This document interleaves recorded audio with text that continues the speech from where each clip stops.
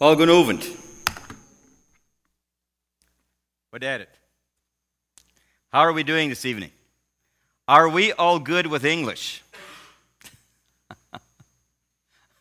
okay, we will do it. If it doesn't work too well, then please let me know and then we'll change it. Or we'll mix it. Or we do Spanglish. Uh, that's Spanish and English, right? Or Germanish, uh, whatever you want to call it. Anyway, it's very, I'm very glad to be here this evening.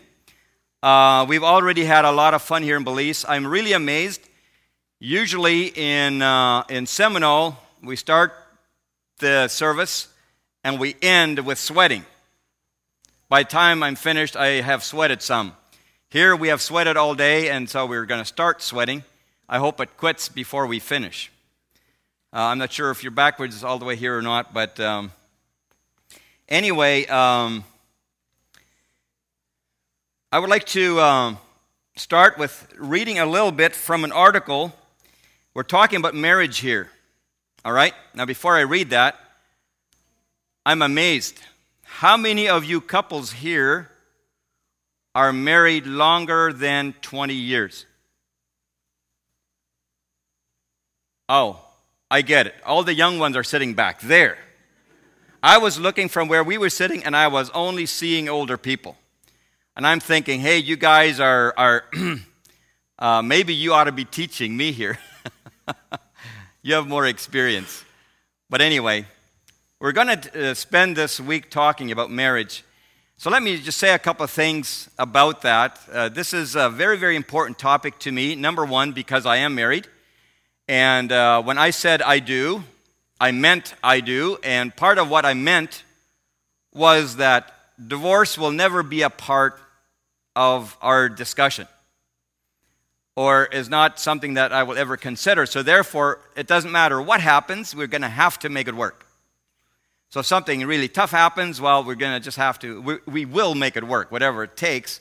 And so, therefore, uh, I, I, I, did take it seriously and uh, came to realize very quickly that in order to be married and to remain married and to remain happily married took a lot of work. And there was a point in time when I finally realized, well, if we're going to be married anyway and we're going to be stuck with each other for the rest of our lives, we may as well enjoy it.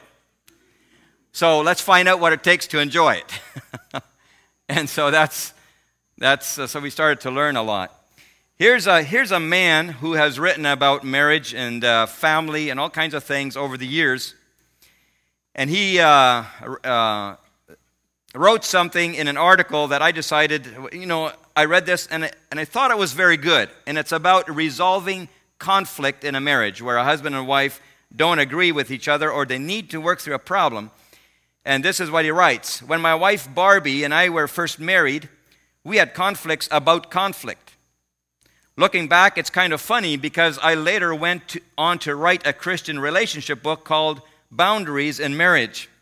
Imagine watching us have boundary conversations about how bad our marriage boundaries were.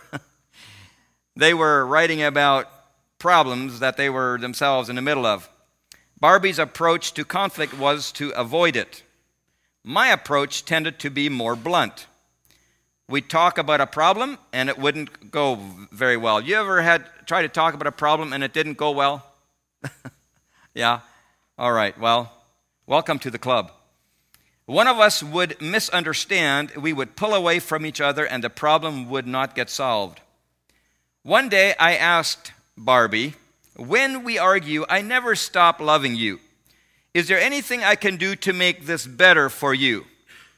She thought for a minute and said, Maybe if you let me know you love me before you confront me with the problem, that might help. That was a good idea, so I agreed. The next time I wanted to have a talk with her about a concern, I walked in the room and said something like this Honey, I just want to let you know that I really care about you, and I hope you feel safe with me. Then I brought up the problem, and things went better for her and for us. This method of having successful conversations went on for a while as time passed, however, something changed. I needed to bring up an issue, so I began with, Honey, I just want you to know, Barbi interrupted and said, Stop. It's okay. I know you love me. Just get to the problem. we had a good laugh about it, and over time she began feeling safe enough not to need reassurance before each conversation. So she realized I loved her even in the midst of confrontation, and she was ready to go straight to problem solving. So, we want to talk about marriage. I don't know what your marriage is like today. The theme for the first evening is reclaiming your marriage. Uh, this whole thing about reclaiming marriage was born out of a very difficult time in helping, trying to help some marriage, married couples in our church. So I don't know what your marriage today looks like. I have no idea how you and your spouse are, are relating right now, okay? So if I say something that sounds like I'm talking about you, I'm not. Unless you're a Clausen and you were at the Clausen camp for the weekend, I am talking about you. I will talk about you. I will use you as illustrations for how not to do marriage. Just kidding, but we were there for two days. We had a lot of fun. Maybe your marriage looks like this right now. You feel like you're about to get swallowed up and eaten up, and you're halfway swallowed up and grabbing the other one by the throat, hoping they won't swallow you all the way. The good news or, or, or the advice is don't ever, never, ever give up. All right? Or maybe yours looks like this you're on the brink of this waterfall and you're not sure do we pray or just paddle or does, is, is anything going to help? All right? Or maybe your marriage looks like this you're ready to shoot it out and just end this. gonna, we're going to finish this with a feud.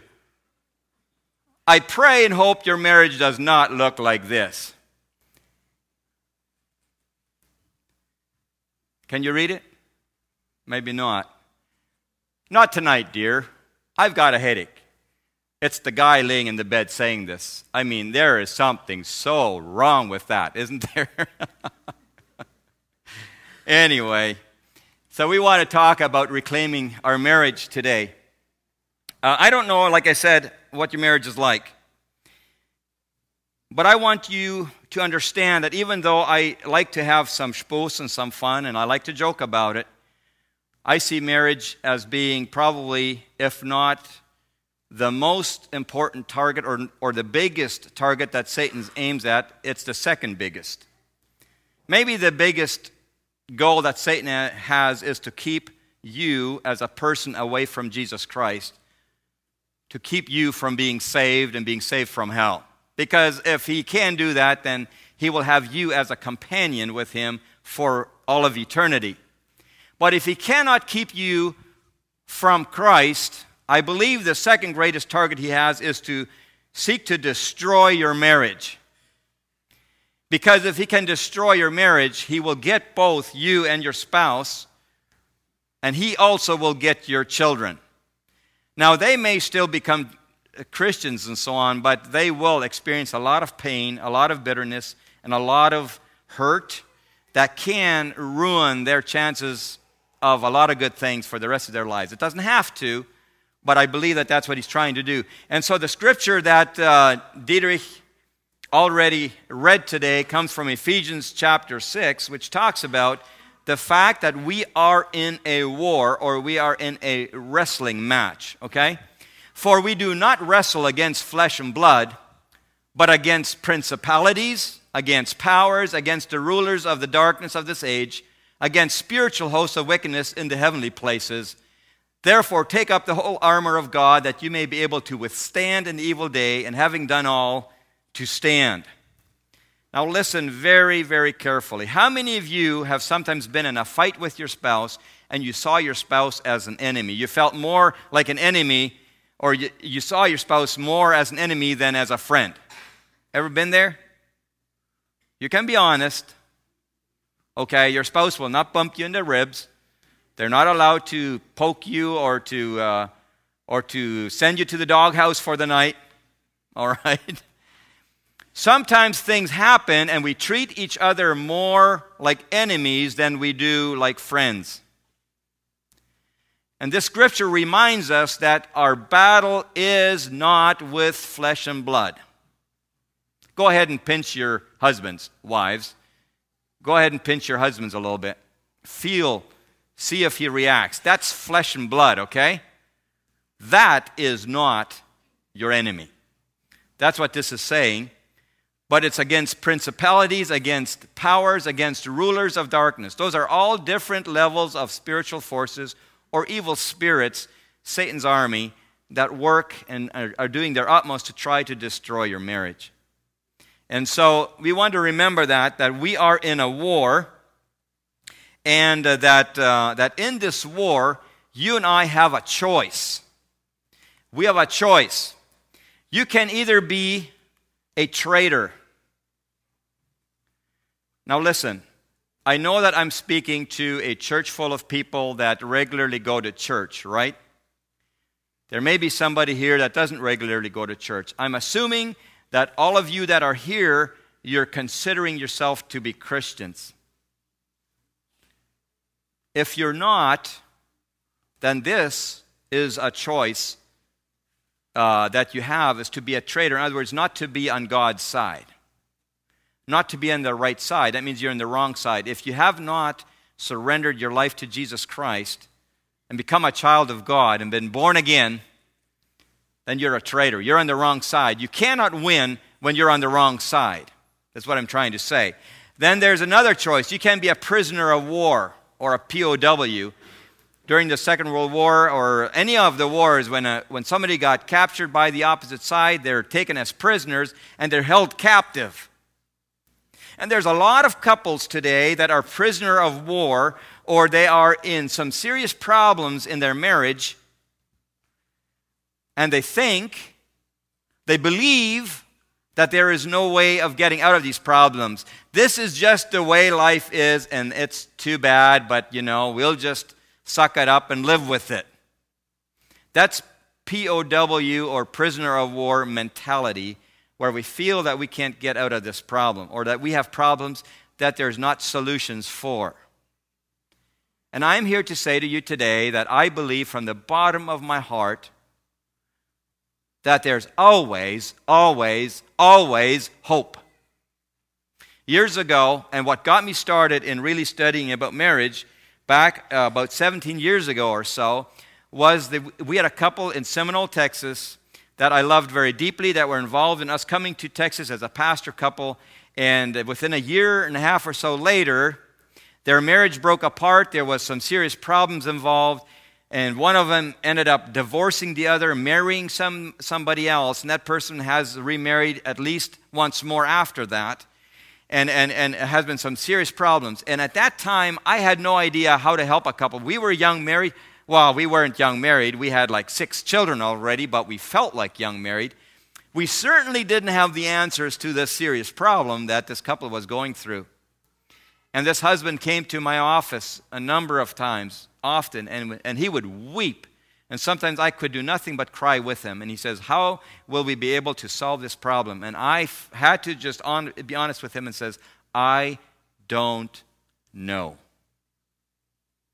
Well, if you, as the pastor, don't know, then what hope is there? He said. Well, I tried to find a counselor for them that would give them hope. They went to a large church in Lubbock who had full time, licensed, trained counselors on staff, and they went and paid them quite a bit of money and told them their story.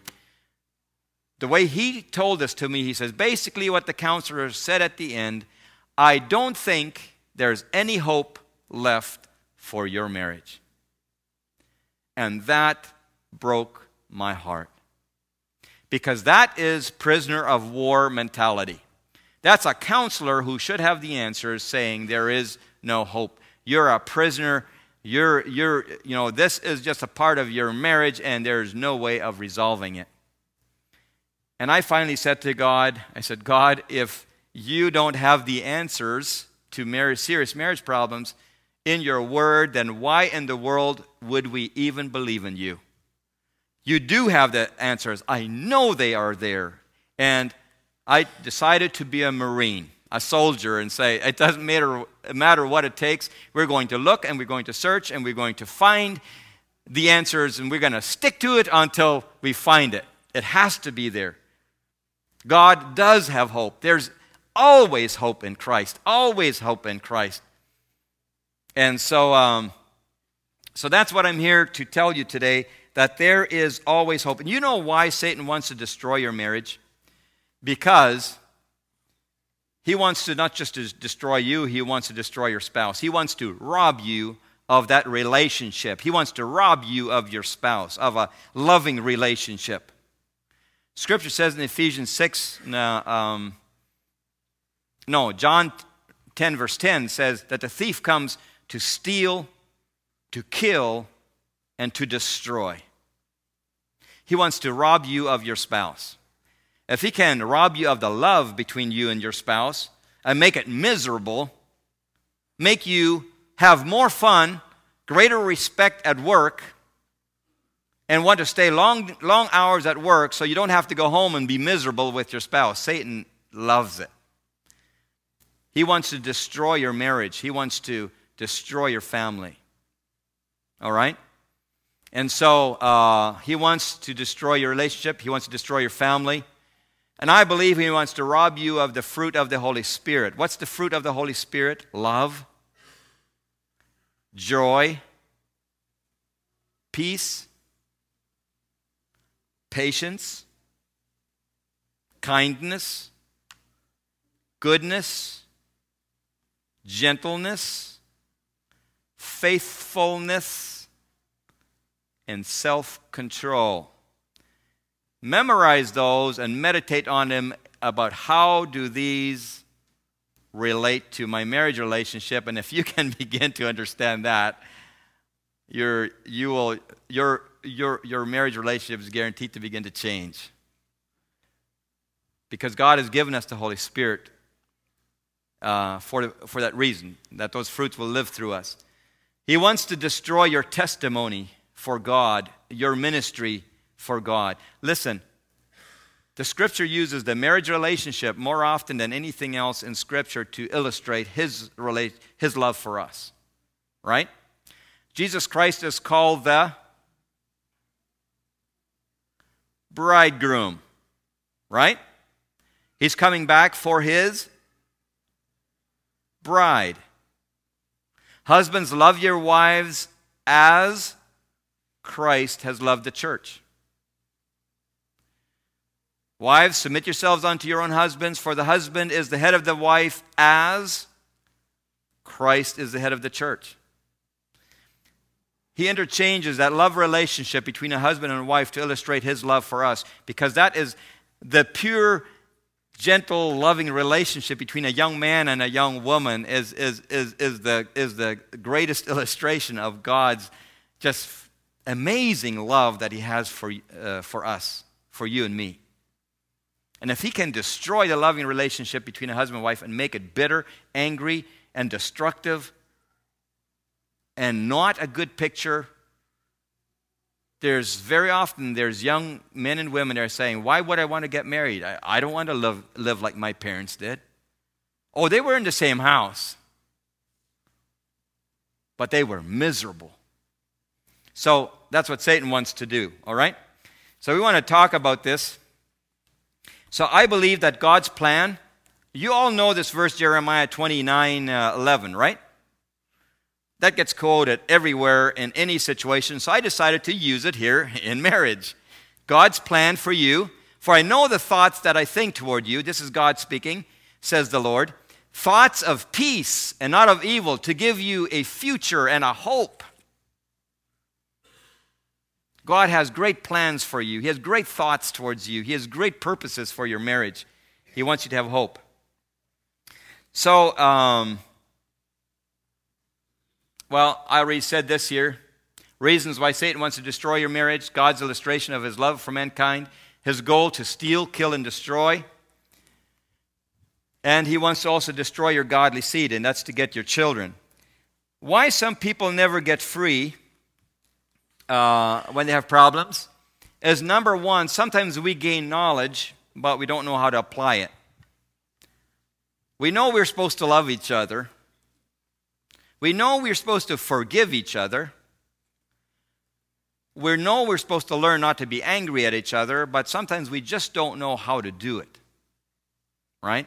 I know I'm supposed to forgive, but so I say with my mouth, well, okay, I forgive you, but somehow the bitterness stays. Somehow it keeps coming back. Somehow, sometimes we take the same old stuff and we reverberate it. We know some things, we know what it should be like, but we just really don't know how to do it. Then, secondly, uh, sometimes when we uh, do something, you know, when we try to work on our relationship, we do it mentally, but not from our heart. Okay, yeah, I forgive you. Or, or if I have sinned against my spouse and I know I'm supposed to repent and ask for forgiveness and well, I do it mentally. Well, okay. Like de har ara je doen dan. Hou me dot to go. Right? If I have hurt you, then please forgive me. Just forgive me. I'm sorry. And sometimes we do it here, we do it from our mouth, but it doesn't really come from the heart. And so we don't know how to really do it from the heart. And so things don't get resolved, and somehow it keeps coming back. So we respond to problems sometimes. If there's a, a problem in a marriage relationship, sometimes we respond in one of three ways. Uh, well, we don't have a problem. we don't have a problem. You know, years ago, uh, we had been in Seminole for, well, we were there for a couple of months. We had a fire in the house that we were staying in. We were renting a house, and right Christmas morning, we had our family gathering with our kids, and we were sitting around the fireplace. I started this fire that we hadn't, I don't, I don't know if you'd used it before or not, but well, we didn't know that the chimney was all smoke shut. And we started this fire, and then after, you know, we had our Christmas time, we read the Christmas story, and we prayed together and handed out our presents and so on. And we had this fire. It started in the ceiling. We were sitting down for breakfast when, when Leona all, uh, all of a sudden said, Hey, Dave, look up there. There's smoke. And I ran into the next room and I looked into the attic and it was all on fire in there. I mean, the ceiling was all on fire inside and we ended up having to move out for a few months. Anyway, during that time, it was very, very difficult. I mean, where do we move to? What house do we get into? And during that time, I got a phone call at about 10 o'clock at night, and this lady says to me,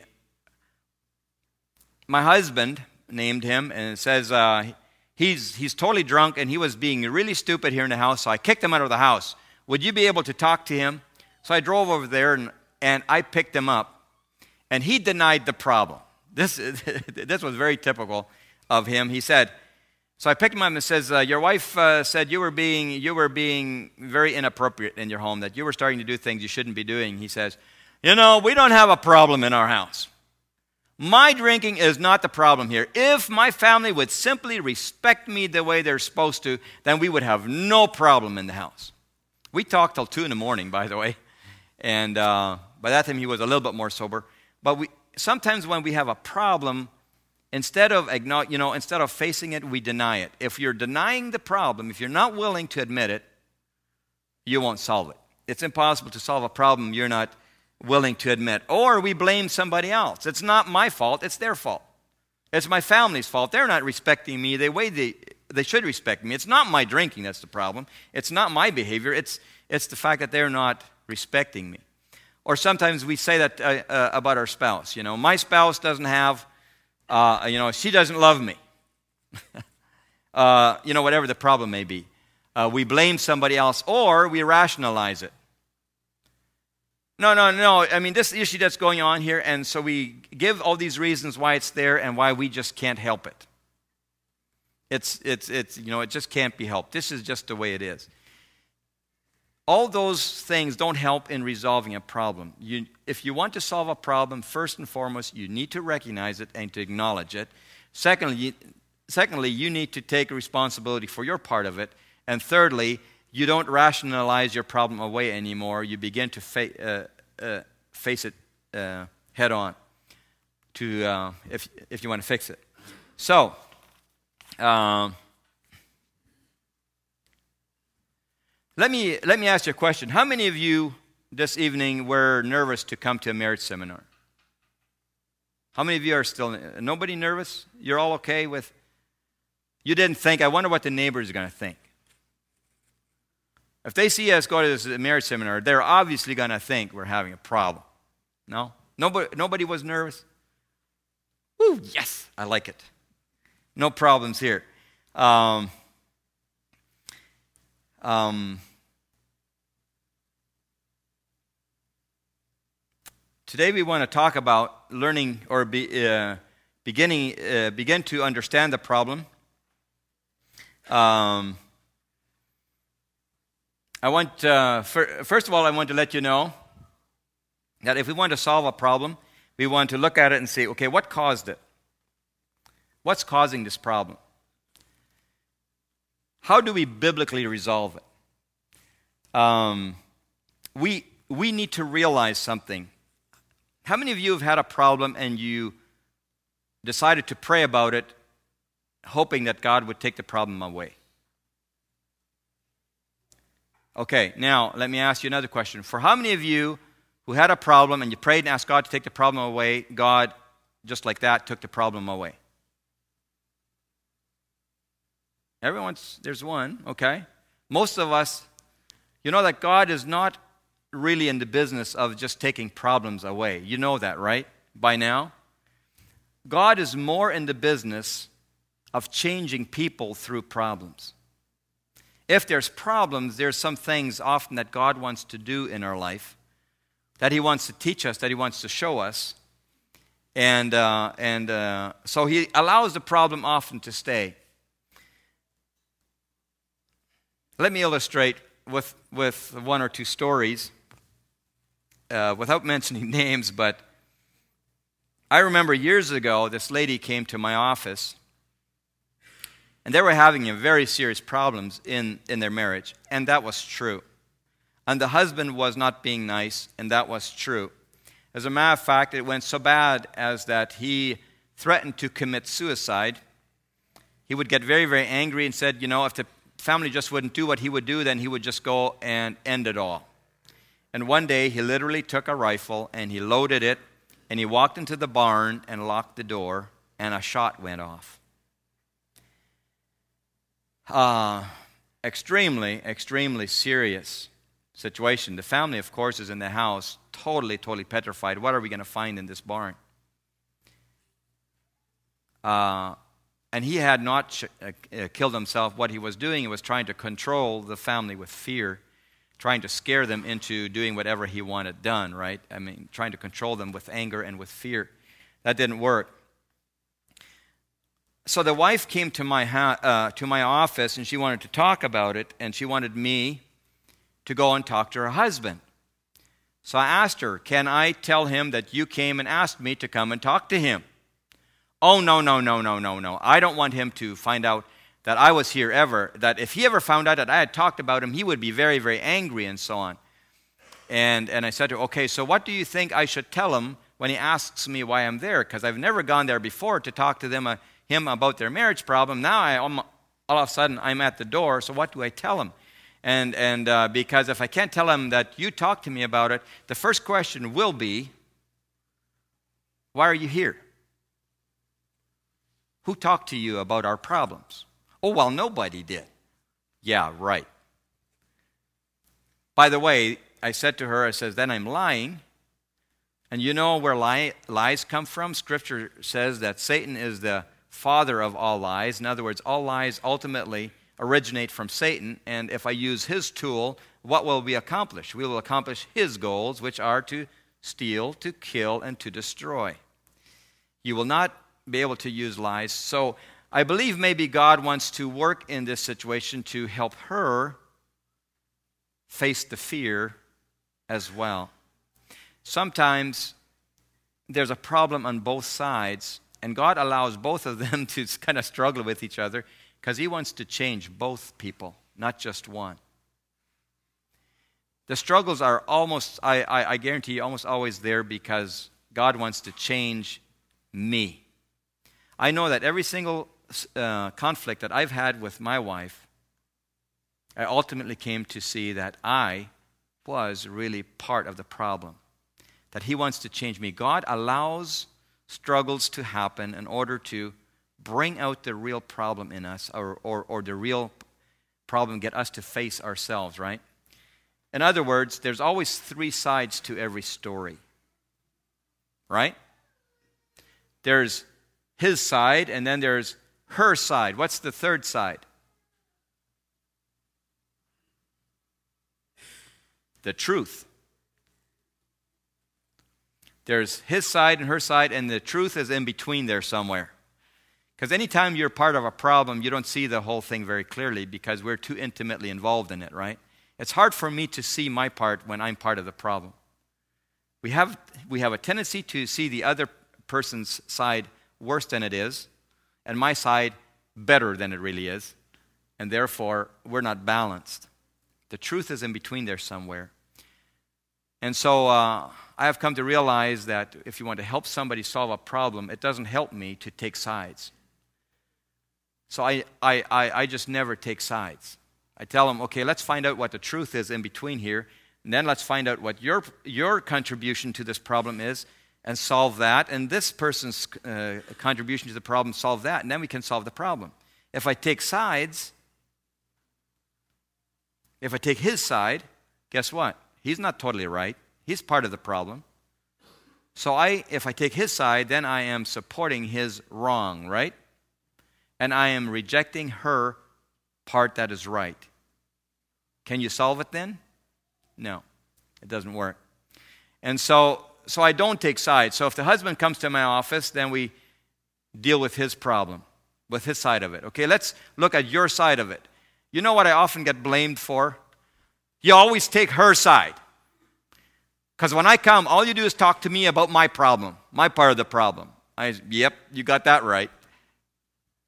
The woman comes in, okay, now let's look at your side of the problem. So they blame me for always taking her his side of the problem because you always just talk about my side of the problem, and so you you know we I want to talk about his part of it. I says we can't solve his part of it if he's not here. Let's talk about that part that's here and solve that. So get it? There's three sides to the problem there's his side, her side, and then there's a truth somewhere. If we can get both focused on the truth, then we can solve the problem. So, um, we as human beings consist of three parts, the Bible tells us. We are body, soul, and spirit. 1 Thessalonians 5.23 Now may the God of peace himself sanctify you completely, and may your whole spirit, soul, and body be preserved blameless at the coming of our Lord Jesus Christ. Um, so Satan's purpose is, is to uh, steal, to kill, and destroy. But Jesus has come that we, we may have life and we may have it abundantly. Um, so Satan does that by, well, here it says, the thief comes to steal, kill, and destroy. Let's uh, jump on. Satan tries to steal, kill, and destroy by developing strongholds. Now, the reason why I started with the we are spirit, soul, and body, because where does this ba- battle happen? It happens in our soul. Um, what is the soul? Well, let's first of all talk about these strongholds here a little bit. Satan, uh, or the Bible explains to us where this battle happens. 2 Corinthians 10 3 to 5. For though we walk in the flesh, we do not war according to the flesh. For the weapons of our warfare are not carnal, but mighty in God for pulling down strongholds, casting down arguments. Now, listen carefully. Verse 5 tells us where the battle happens, these strongholds. Casting down arguments and every high thing that exalts itself against the knowledge of God, knowledge of God, bringing every thought into captivity to the obedience of Christ. The soul of the human being is our ability to think, to feel, and to make decisions.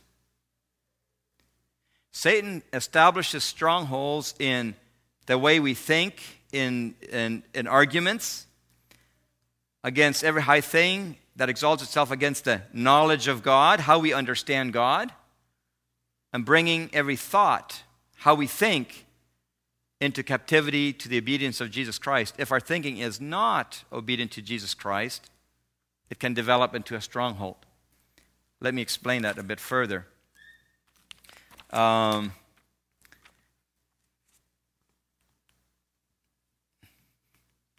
the weapons of, this, uh, of our warfare are the sword of the Spirit, or truth, and prayer. In Ephesians chapter 6, it talks about the weapons of our warfare. All of them are there to protect us, but two of them are there to fight. One of them is the sword of the Spirit, which is truth, the Word of God. You want to fight Satan, you have to fight with the Word of God, with truth.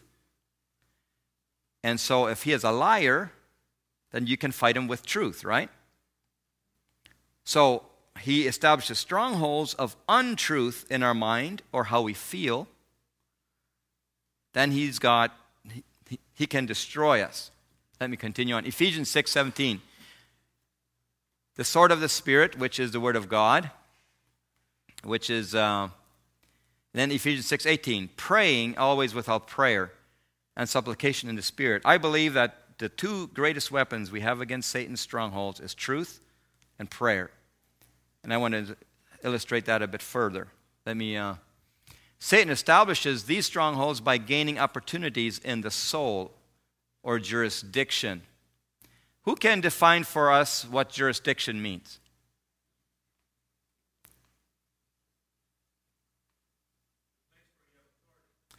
A place where you have authority, exactly. The constables here in Blue Creek, how far is your authority? John? All the way to Belize City? All over the country. You are like the FBI in the U.S., mainly in Blue Creek. In in Texas, in Seminole, we have town police. Their jurisdiction is the city limits. Then we have the sheriff's department. Their jurisdiction is the whole county. And then we have the state troopers who have authority over the whole state. So, different jurisdictions. Scripture tells us that Satan establishes strongholds by gaining opportunities in our soul or jurisdiction. L- listen here Ephesians 4, verse 26 and 27. Be angry and do not sin. Do not let the sun go down on your wrath, nor give place to the devil. Be angry, yet do not sin. If you feel that anger inside of you coming up, your wife says something to you and it's making you mad Ever happen? no? Okay, let's go on to the next lesson. Um, or the husband does something. He comes home and, sweetheart, I just bought a new truck. Would that kind of hook you a little bit? No? Okay, neither. Hey, what example would work here in Blue Creek? It works, it works at home, you know. What's that? You bought it. En kruipakketen. Oompje komt naar huis en they have een kruipa gekauft. What does one of those things cost? A lot. Like a hundred thousand? Five hundred? Half a million? Yeah, that would hook the wife a little bit. Listen, the other day you said we didn't have enough money for me to buy new shoes, and you bought a creeper. Something happens and your anger starts to rise. It says, Be angry, but do not sin. Don't start saying things you shouldn't be saying. Don't swat him one across the face. You don't hit, don't, don't respond in sin. Don't get angry and bitter against a person and begin to harbor a lot of bitterness. That is also sin. In your anger, do not sin, and do not let the sun go down on your wrath. Wrath is when anger has kind of stayed for a while and it's now settling in. Nor give place to the devil. When, when you begin to feel yourself getting angry and you begin to respond in anger or in sin, then you're giving Satan an opportunity or place, if you look at your different, I don't know how many, what different translations you use, but different translations translate this word in different ways. Do not give place to the devil. This is New King James Version. I believe the, NA, the NIV says, do not give the devil an opportunity. One translation says, do not give Satan a toehold. Do not give him a foothold. Okay? When we sin in our anger, then we're giving Satan a place of jurisdiction, a place to work in. Follow me? In your relationship, if you sin, or in your Christian life, in any relationships, if you sin, then you're giving Satan a place or a, an area of jurisdiction in that place. All right? You follow me thus far? Okay, good. Um, so, what are some of those strongholds? For instance, bitterness. I don't want to ask you this question, but I wonder how many of us harbor some bitterness somewhere in our heart towards somebody in our past. It amazes me how many people do. Uh, you all know Henry Thiessen from Durango, Nuevo Ideal Durango, right? I don't know if he's ever spoken here or not, but he, uh, we had him last year for our missions conference, and we had him speak in our church, and he spoke on forgiveness. Forgiveness is the process of dealing with bitterness. Hebrews 12, verse 15 see to it that no one misses the grace of God, that no root of bitterness take hold, causing trouble, and by it many be defiled. It'll ruin a lot of relationships. Bitterness is unforgiveness and is a stronghold.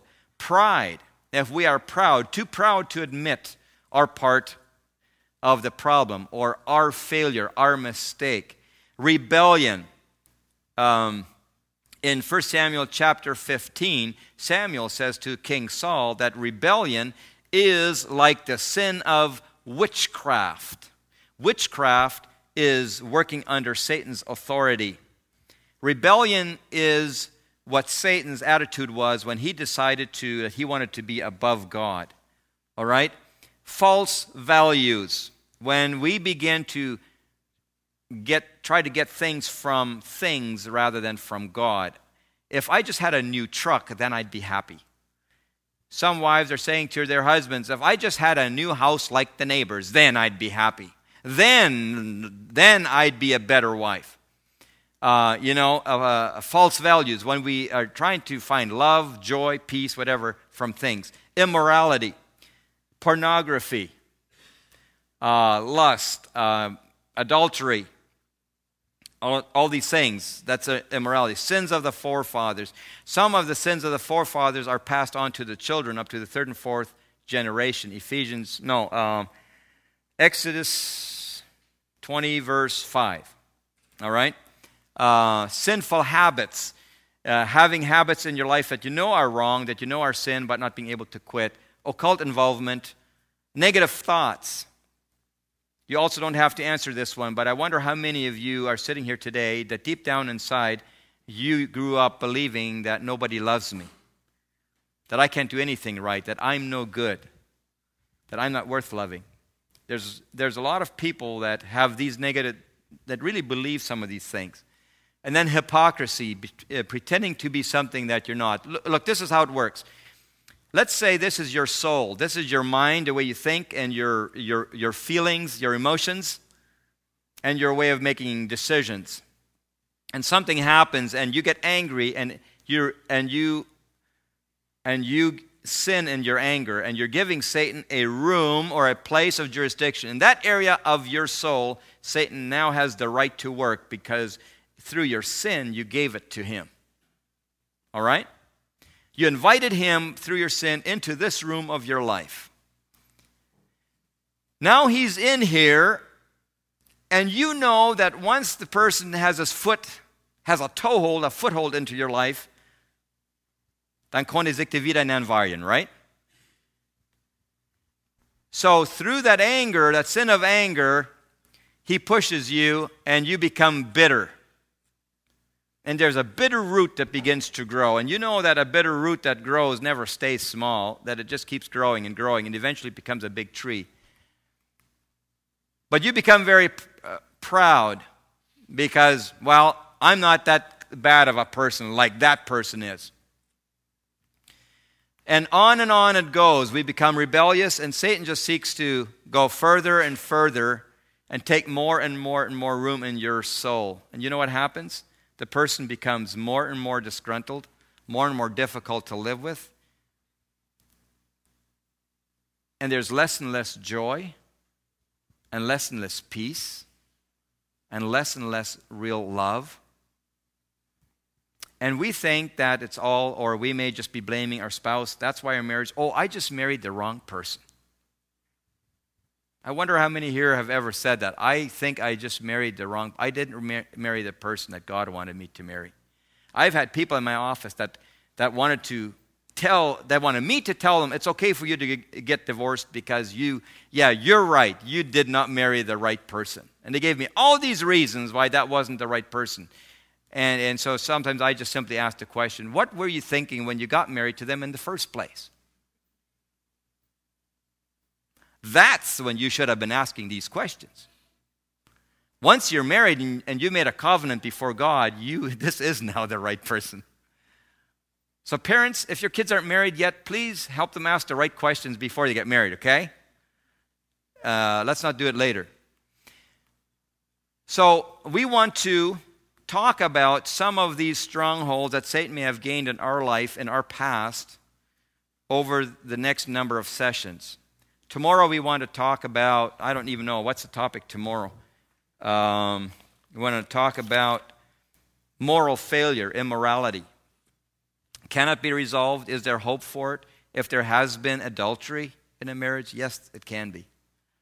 I totally, absolutely believe that that even if there's been adultery and so on, it can be resolved. The, the, the, the couple can come to that place where they genuinely, deeply, deeply love each other, maybe more and deeper than they ever did before.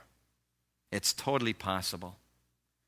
And so, um, so here's some things I, I believe need to happen if we want to clean up some of these strongholds. If you know that you have become very bitter against your spouse, one of the things, the first thing you want to do is you want to confess to God your bitterness. Because, first of all, you need to own the problem, your side of the problem, and that is that there's bitterness in your heart, and that bitterness on your part is sin. Now, listen, that does not mean that the spouse did not do what they did. That does not mean that the spouse is not wrong after all in what they did. We simply want to start with owning up owning our part of the problem. And if there is, let's say, bitterness, I confess my sin to God. And then I, uh, the second step then is ask God to forgive me for my bitterness. We know that. This is a simple reminder. We know all this. But to come to that place where, from the bottom of our heart, we come to be broken and the realization that this bitterness in my heart, that is my sin. Thank God for forgiving your sin. Acknowledge that you have given Satan jurisdiction or room through that sin. Uh, I'll, I'll, I'll go through this in just a second here.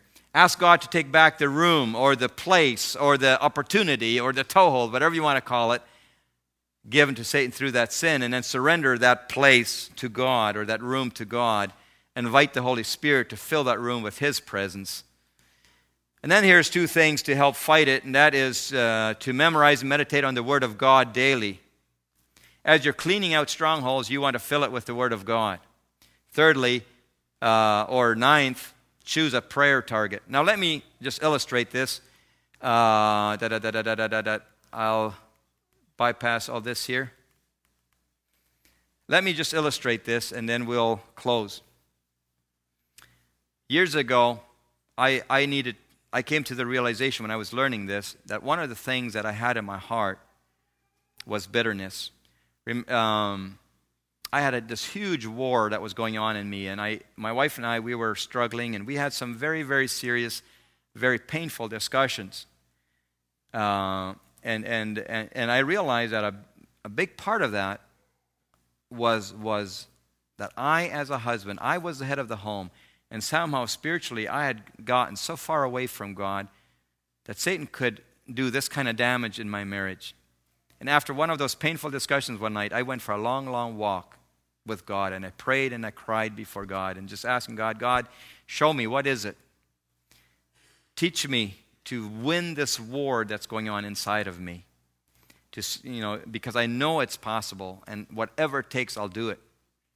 And a few months later, I had an opportunity, or we had an opportunity to go to a seminar in Toronto. This is in Canada, and uh, and learned this principle about reclaiming surrendered ground. And this speaker explained that to us. And so, one of the things that I recognized at that time was that I had a lot of bitterness. And let me just illustrate one of those bitternesses. When we were growing up in Mexico, my parents were not together, okay? We couldn't, uh, often, we couldn't pay our school money. And because my parents weren't together and stuff like that, there's a lot of talk that goes around in the community, especially Mennonite communities. And there were some things said about my family that hurt very deeply one of the leaders of the church came to our house one day and said some things about one of my sisters that hurt very, very deeply. And I all of a sudden realized that I carried some bitterness in my heart towards that church leader. Here, I was just a boy then. Here, years later, I'm now a married guy and I have gone to Bible college. And I've always said to God, I'll do anything you want me to do, but please don't ever, I don't want to ever preach or be a pastor. I literally said that. Years later, I find out it's because I carried this bitterness towards church leaders back then. But when I recognized the bitterness, what I did is this is God, I want to acknowledge to you today from the bottom of my heart that I have bitterness in my heart. I know I'm bitter. And I want to ask you if, today if you would be willing, if, if you would please forgive me for this bitterness. But God, I realize that I've given Satan an opportunity into my life. By my sin of bitterness, I opened the door for Satan to take this room in my heart, in my soul, about this bitterness. Would you today, because of the blood of through the blood of Jesus Christ, take back that jurisdiction that I gave him, that place I gave him? I surrender that now to your control. Would you please just free me from that hurt and from that bitterness? I choose today to forgive that church leader for what he said. I let it go. But God, would you bring healing to my heart and would you just give me a love instead for that person? Oh, and then I remembered another bitterness towards my dad for leaving, towards my mom for some things, and towards my brother for some of the fights we had had and stuff, and all kinds of things. And each one by one, I just confessed them to God and asked Him to forgive me and, and just asked Him if He would take back the places I had given to Satan, those opportunities I had given Satan into my life through the, the sin, and just surrender it back to Him. I did that with bitterness. I did that with, with uh, lust. Uh, I had uh, uh committed. I did it w- with different things. And uh, I can just tell you, oh, and then because I was cleaning out, I didn't want to leave it empty. I started to memorize Scripture, memorize Scripture and plant it in my heart and, and meditate on it, meditate on it, because I wanted not to be empty, I wanted to be full. And then when the temptation to be bitter came again, I would immediately, or when, when the temptation to lust came, then I would immediately pray. Says, God, I want to right now pray for so and so person who is not a Christian. I pray that they would come to know you as Lord. And Lord, if you want to use me, here I am. And in the meantime, this temptation to lust passed and just every temptation that came to be angry or, or, or to become bitter, I would just pray. I would pray for my dad. I would pray for my mom. I would pray for my family. I would, I would pray for prayer targets. Anytime I felt a temptation coming on, I would start to pray. And about two or three weeks later, after cleaning, praying through, and lots and lots and lots of junk in my life, I began to experience a joy and a peace like I had never, never, ever felt before. I've been a Christian for many years. I'd been in Bible college for four years. I'd been a youth leader for four years together with my wife. And I met my wife and we were married, but there were, I all of a sudden realized how many problems I was contributing to in, in our marriage. Now, that didn't mean our marriage was instantly perfect, right? The only thing is that from that point on, we began to be, I began to be more free to grow in my relationship with my wife. I began to handle, slowly over time, began to handle things differently. And she'll tell you, and I can tell you, that I am not at all a perfect man, not even close. I may be a pastor, but I'm no different than anybody else. But I, I would venture to say, from my point of view in our relationship, that our relationship is way better now than it was when we got married. We handle our problems differently now. We do talk about them. And sometimes it still hurts, sometimes it's still hard. But there's hope. There's always hope. Amen? Let's all uh, pray together. Heavenly Father, as we um, bow before you right now, I just want to so thank you. Thank you that you have shown us in your word how Satan works. And you've given us prayer, the truth of your word, to set us free. You say in your word that if we will abide in your word, then we will know the truth, and the truth will set us free. And I pray today that uh, as we go through the rest of this week and talk about different specific problems in marriage, like moral failure or bitterness. I pray, Father, that you would guide us. Give us an open heart to see our own heart in our own place in our relationship with our spouse. And I pray that every single couple that's represented here today that they would this would just be one more step to for the marriage to get even better if it's already good to get even better, and if there are issues to gain hope that there are answers to these problems. Thank you, Lord, for what you will do. Amen.